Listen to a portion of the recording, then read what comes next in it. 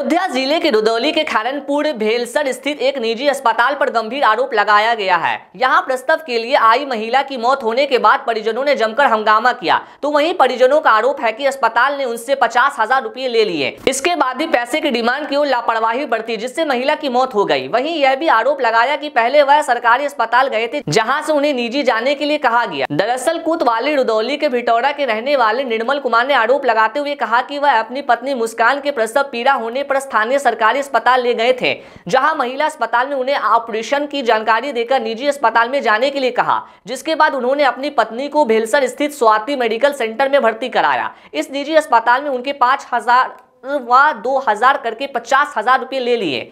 यहाँ उन्होंने जुड़वा बच्चे को पत्नी ने जन्म दिया। 11 जुलाई को भर्ती कराने के बाद 20 को मुस्कान की मौत हो गई। अस्पताल अंत तक पैसों की डिमांड करता रहा। क्या नाम है आपका? निर्मल कुमार कहाँ घर पड़ता है आपका? बेतौरा क्या दिक्कत हुई थी कैसे पूरी बात दिक्कत ये हुई थी जो हुआ बच्चा था तो सरकारी अस्पताल में सब लोग साथ में ले गए। अच्छा। तो वहाँ प्रियंका का दिखाया तो कहीं की जोड़वा है ऑपरेशन करे पड़ी जो है ले जाओ प्राइवेट में कहूँ दिखाओ।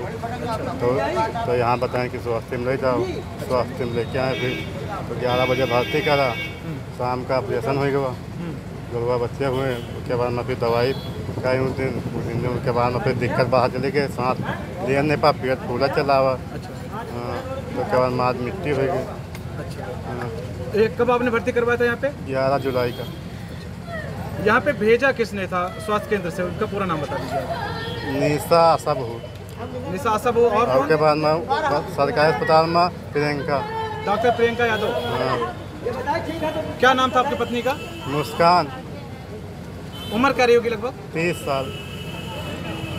आप क्या मांग करते हैं सरकार से इस मामले में लेकर? यही मांग करते हैं कि ऐसा डॉक्टर कोई लेकर ना होए।